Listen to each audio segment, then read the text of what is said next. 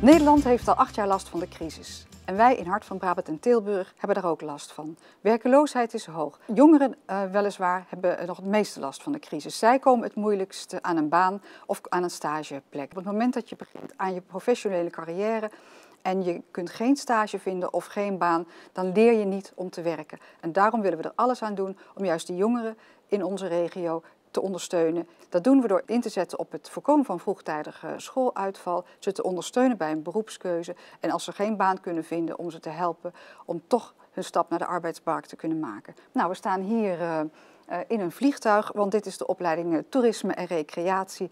En hoe kun je beter verbeelden dat we worden opgeleid voor de praktijken dan in zo'n mooi voorbeeld.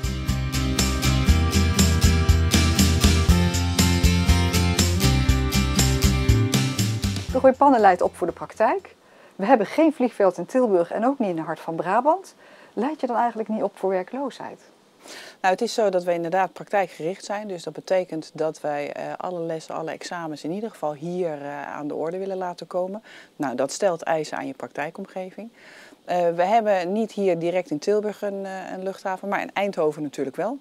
Dus dat betekent dat we daar ook veel stages hebben. Maar het is een internationale wereld. Dus dat betekent dat ook Amsterdam.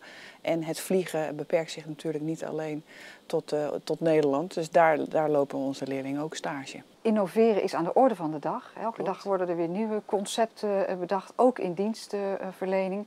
Dus het vraagt van een school om voortdurend alert te blijven op die ontwikkelingen. Hoe houd je nou als directeur uh, je, je opleiding up-to-date en met name ook je docenten up-to-date? Wat je zegt, docenten zijn daar heel belangrijk in. En dat betekent dat wij hier bij de Roypannen uh, werken met docentenstage. Dat wil zeggen dat onze docenten een aantal dagen teruggaan uh, naar het bedrijfsleven om daar uh, jaarlijks te kijken naar de innovaties. Wat speelt er op dat moment in de branche? Dat is ontzettend leuk, want je ziet ze heel enthousiast weer terugkeren naar je school. En verder is het zo dat wij in de gelukkige omstandigheid zijn dat het bedrijfsleven ook naar ons toe wil komen. En dat wil zeggen dat op het gebied van examinering zijn er mensen vanuit een Efteling of vanuit een DISPMA of vanuit een kras. Die zijn hier in de school om mee te doen aan die examinering. Ja, en op die manier denk ik dat we ervoor kunnen zorgen dat onze docenten echt up-to-date zijn. Dames en heren, graag uw aandacht voor de flight safety demonstratie Story. Wij laten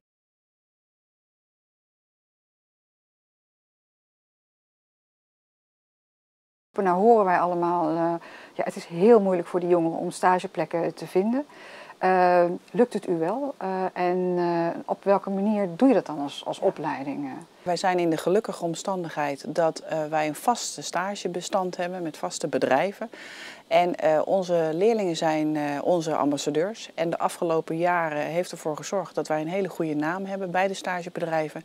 En dat zorgt ervoor dat wij iedere keer weer nou, mensen met gemak kunnen plaatsen.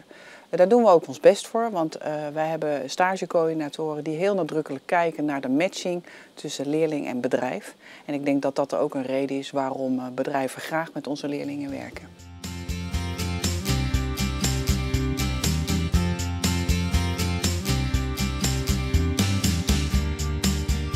Waar komen de studenten na het afronden van hun studie eigenlijk terecht? Nou, voor een deel is het zo dat onze leerlingen door gaan studeren. Dat is best een hoog percentage. Ik denk dan aan zo'n 65 tot 75 procent. Uh, daarnaast is het zo dat we natuurlijk een paar grote werkgevers in de buurt hebben. Waarbij een Efteling of een Libema, ja, dat toch gerenommeerde bedrijven zijn. Maar bijvoorbeeld ook een Disma, wat een hele grote speler hier is in de regio op het gebied van reizen ja, daar is ongeveer de helft van het uh, personeelsbestand zijn leerlingen van ons. Dus ja, ze komen op allerlei plekken terecht.